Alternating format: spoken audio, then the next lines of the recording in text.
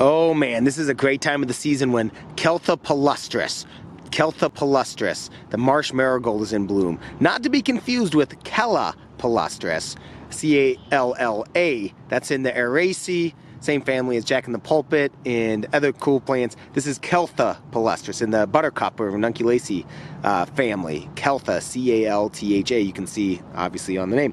Um, so Caltha palustris is a great plant. It grows in bottomland seeps, oftentimes with things like um, like uh, Carex lacustris, lake sedge.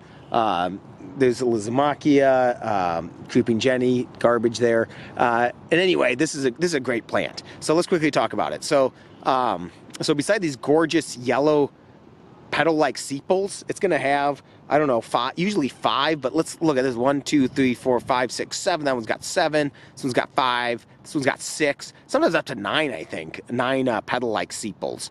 Um, it's going to have nine petal-like sepals. You remember that because we're going to talk about another plant that um, that you're going to have to remember. Uh, five to nine, let's just say, usually five petal-like sepals.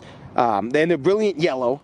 Uh, however, if you put UV light on them, they they they they just are incredible in this like purplish blue with like these landing strips. As you can kind of see on here, you can kind of see the, the, the gorgeous, these lines. So those light up. So if you're a bumblebee or, or a bee and you're flying over, you just, you just see them yelling, hey, come and visit me, you know.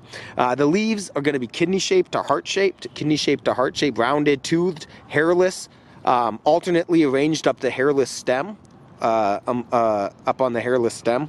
Um, uh, what else about this? Oh, we don't have any because it's too early in the season, but they're, they're going to have a really cool, um, a, a, really cool capsules uh, that contain many seeds, and uh, we'll throw a picture up um, to show you what that looks like. So, with most most species in the ranunculaceae, this has a this has a, uh, a plant toxin that can that can cause some serious symptoms if eaten. However, uh, people, you know, uh, they've cooked it up and they've eaten it, trying to cook those toxins all out.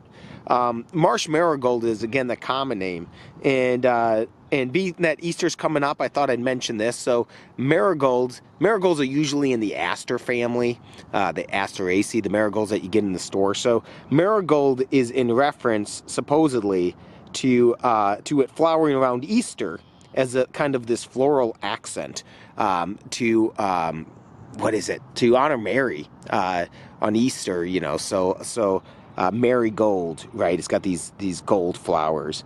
Um, there's another there's another story about uh, that that it's from an Anglo-Saxon uh, word meaning horse blister that the buds these buds here look like horse blisters. That's gross. And being that it's easter um, even though that one's probably more realistic uh, being that it's getting close to easter let's stick with the this is blooming around the time of mary around easter so let's call it marigold marsh marigold. But i don't know. All right so in Caltha actually is derived um, is derived from the uh, the greek word for um, like uh, goblet uh, and again, that could be referred to that blister looking thing. And then palustris just means swamp. Uh, okay, so I said that this looks kind of like another plant. So there's an invasive plant called Ficaria verna, or the, the fig buttercup. Um, and that's, that's going to have uh, three green sepals. So it'll have three, so when you flip them over, you're going to see three green sepals. Now, these are sepals, the yellow things that you're seeing here. But they're going to have three green sepals on Ficaria and seven to a 10 or 12 uh, I forget, yellow true petals. So not the uh, so not the sepal like petals. So that's one of the big differences. And they, that's also a ground cover. This isn't. Um, so anyway, this is cool. And, and I'm going to stand up here so maybe we can see the habitat here. That this is the habitat. So you can see it's a nice kind of. There's a seep here. There's some skunk cabbage over there. The little guy is picking up a plant. Cool. Marsh marigold, Caltha palustris, cool plant.